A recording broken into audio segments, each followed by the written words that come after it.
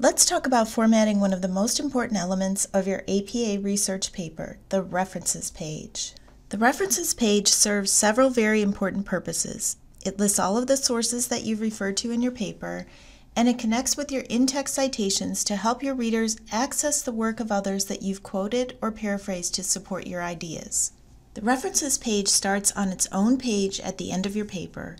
It's formatted in Times New Roman 12 double-spaced. The word references is centered at the top and all of your entries are listed in alphabetical order with hanging indents.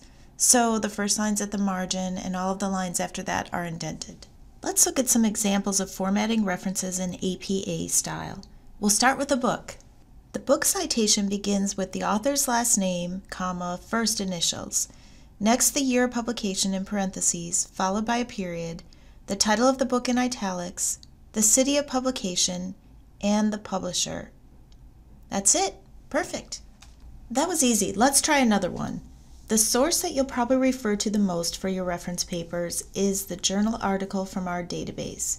Here's how you format this citation. Begin with the author's last name followed by their first initial. We follow that with the date of publication in parentheses. Next is the title of the article written with sentence capitalization, meaning the first letter is capitalized and everything after that is not. An exception would be that you capitalize the first letter of the word after a colon if you have one. Add a period, then the journal title in italics, a comma, the volume number and the issue number in parentheses, and then the page numbers. Finally write retrieved from and copy and paste the URL. In APA style, if the DOI is available, add that to the end of the entry in place of the URL. There's no period after that. What if you want to create a citation for an article from a website with an author or authors? You begin by naming the author, last name, comma, first initial. If there are multiple authors, like we have for this source, you name them all with an ampersand before the last one. APA style guidelines say that if you have eight or more authors, you should name the first six, then use an ellipses before naming the last author on the list. That helps keep the list from overflowing on your page. After the last first initial, include the date of publication in parentheses. Follow this with the title of the article, done in sentence style capitalization, then a period, and type the words retrieved from and the full URL. What if the article has no author? Simply begin with the title of the article and follow the rest of the guidelines. A YouTube video is a source you may want to reference in your paper.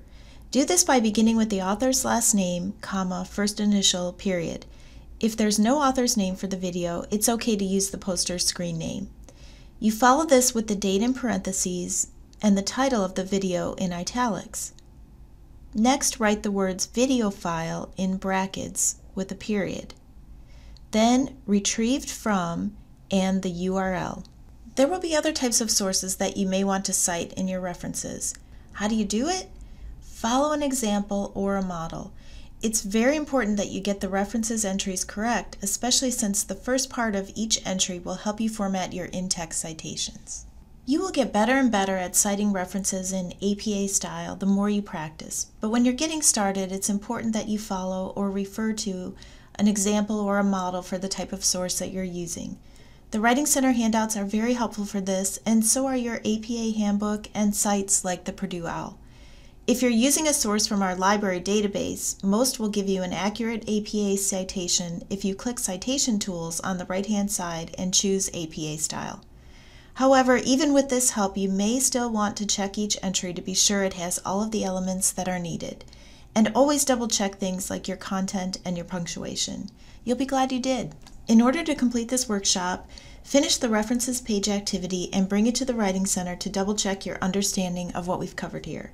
And remember, you can always bring your paper at any stage to the Writing Center to have our friendly tutors take a look and offer their assistance. See you soon!